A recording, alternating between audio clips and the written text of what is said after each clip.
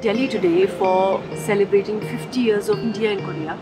And for the first time, I will be singing Korean songs. The K-pop fever is here.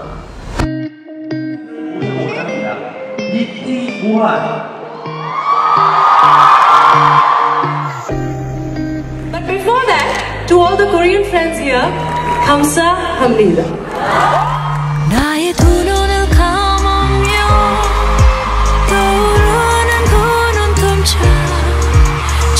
kasimişim